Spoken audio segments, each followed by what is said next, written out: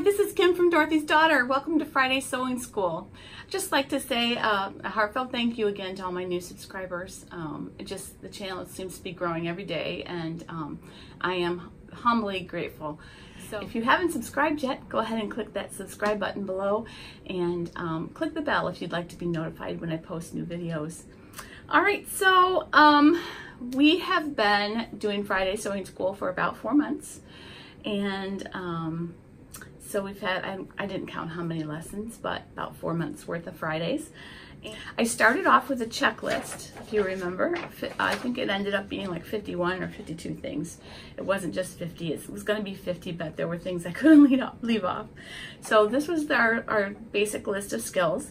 And I wanted today, do today is to go ahead and um, go through and see which things we have accomplished already and which things we still have yet to tackle. So um, if you haven't printed this yet, you can go to the description box below and you can, uh, there's a link there and you can print your own copy so that you can also check yours off. I'm going to cut to um, a screenshot recording from my iPad um, where I checked off the things we have done. All right, so, so I'll be back after that to chat with you about the upcoming sew along. Okay, so here is the basic skills uh, checklist that we started off at the beginning of Friday Sewing School. So I was going to um, go ahead and go through this list and see what we've covered and what we still need to cover, just as a kind of assessment to see um, how far we've come and plan ahead for the future in, or in order to um, make Friday Sewing School the best it can be for you. So I'm going to start here. We did do basic skills for a beginner, basic tools for a beginner. So starting at the beginning here, we, we did do basic tools for a beginner. We did sewing machine basics. We did do um, cover choosing a sewing machine. We covered needles and thread. We covered feet, although we will be doing more advanced feet as time goes on. We uh, covered sewing straight and curved line. Remember, we had our practice sheets, and if you need to go, I'm going to link all of those documents, um, including this one, um, below in the description for you in case you um, want to go back to them. Um, we have covered measuring ourselves, and of course we will be adding to that also as time goes on. Um, we've covered choosing a pattern, um, but we really haven't gotten into much to the um, differences between the indie patterns and commercial patterns, so I'm going to hold off on checking that one because we're going to be doing a commercial pattern with the skirt, so I think then we will be able to um, kind of uh, see the differences between them. Um, we've been talking about choosing fabrics for the makes we've had. Um, we've talked about uh, knits versus woven. Um, we've talked about weight. Um, we've talked about pre-washing. I think I think we've covered it. Um, we haven't talked too much about natural versus synthetic. Um, I'm going to leave that one unchecked as well because I think we could probably go into that a little deeper. grain line and bias we've talked about. We've talked about interfacing, however, we haven't gone through all the different types, so I'm going to leave that one unchecked. We have uh, demonstrated assembling a PDF pattern, so y'all have done that with the cadence. Um, reading the pattern, we have um, gone ahead and transferred pattern markings like notches and darts um, and the uh, stitch lines, grain bias, seam allowance. I'm also going to hold off on this because I want you to see it on a commercial pattern as well as an indie pattern. Checking for fit we've done a lot of. Obviously that's going to get more advanced as time goes on. We've not done a full bust adjustment yes, yet, but we will. Um, lengthening the torso. I don't think I've shown that to you yet, so I will do that. Um, Oops.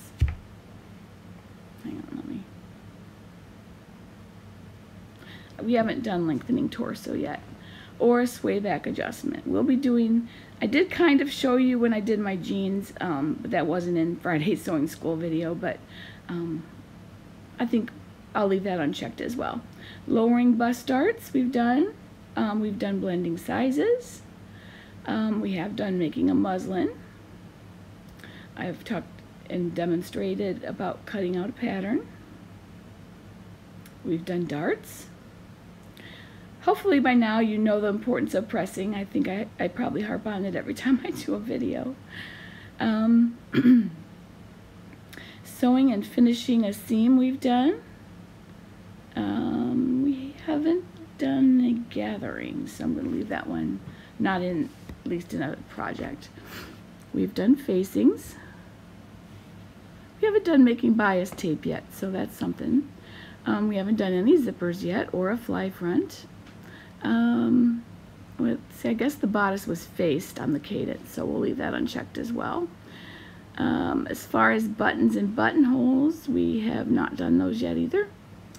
Um, I did talk about all the finishing, but I have not demonstrated the French or the Hong Kong seams yet, so I'm going to leave that one unchecked.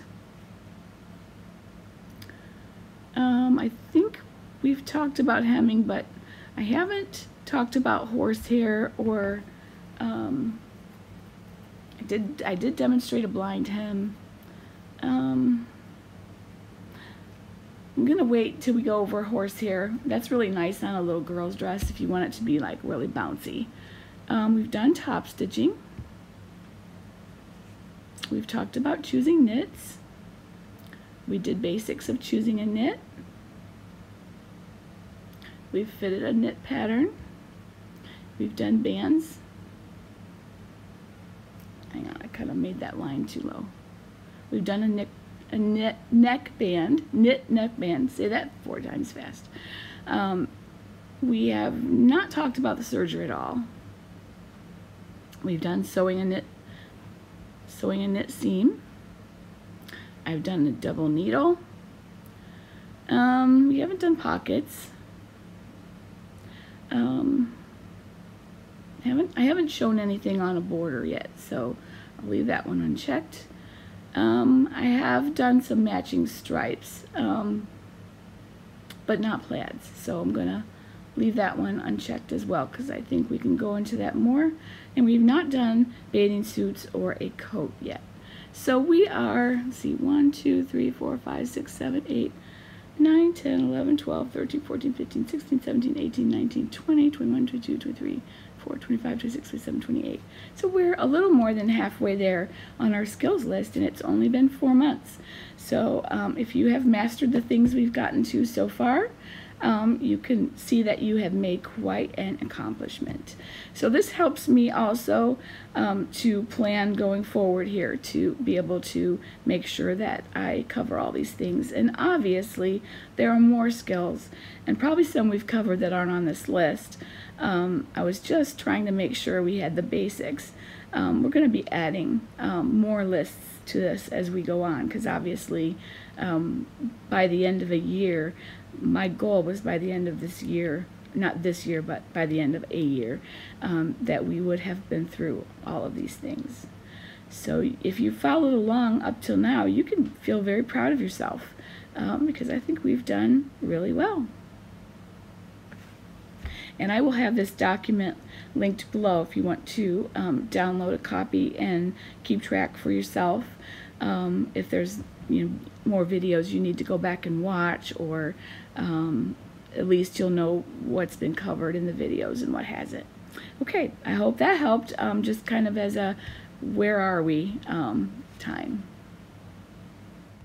All right, so Simplicity 8795, we are going to make the pencil skirt from this pattern and it features a faced waistband and there are short and longer lengths. And um, I think it's gonna be a great place to start. Um, one of the big things I wanted to tackle, as you saw in our basic skills list, we have not done any zippers yet. So I wanted to tackle that. Um, so you are going to need your fabric. Um, I'm looking at the back of the envelope. Um, I actually printed it off, but um, you can look, if you don't have your pattern yet, you can, you can get the, look at the back of the envelope on Simplicity's website, and it will tell you everything that you need. So what we need for this, I'm not, you can pick whatever view you want to do, whether you want to do the short or the long skirt. I'm going to do um, the shorter skirt, view B, and that falls about an inch below weight, uh, below the waist, so that's about at our natural waistline. And um, I chose this, um, it's like a jacquard, but it's a twill. So it has like a damask pattern in the, uh, and it's like dark green and black. And I, I've had this for a while. I bought it at an expo, I think Haberman Fabrics booth in Novi a couple years ago. And so um, I have a yard of this, so I'm gonna make the short version out of this. Um, and I think it'll be a really nice uh, skirt to wear with a black top or, um, you know, even with a cardigan or something like that. So, um, so yeah. So um, view B. So for that, I need 7 eighths of a yard because this is 60 inches wide. Um, now, depending on your fabric, if you, you will need with this pattern anywhere from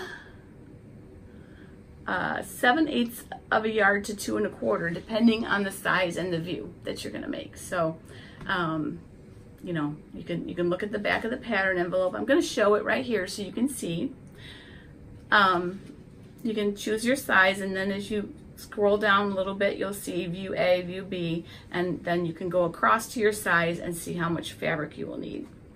Also, we are going to need thread, and a seven inch invisible zipper. And then we're going to need, um, let's see, we don't need a button because that's view C and D, which is for the jacket. So all we need is our thread and a zipper. And the fabric that you choose, um, it has some suggested fabrics there.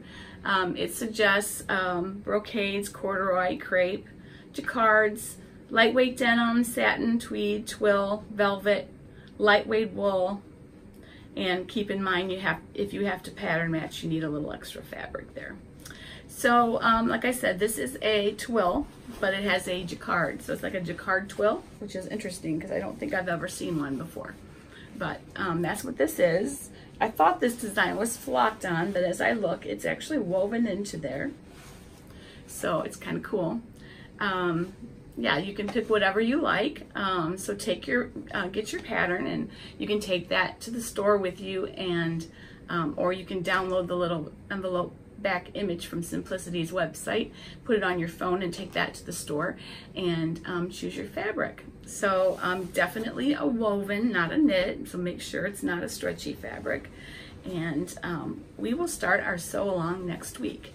Now, in uh, zippers, you want to get an invisible zipper, um, and there that's going to be super easy to put in, so don't don't panic. I'm going to show you exactly how, and um, that's one of our things that we need to tackle. So, um, so yeah, that's basically all I wanted to go over today. It's a short and sweet one today. Um, so go ahead and I'm going to leave the links to all of the Dorothy's Daughter um, Friday Sewing School documents below. The basics uh, skills list, the basic tools list, the um, curved and straight lines practice sheets.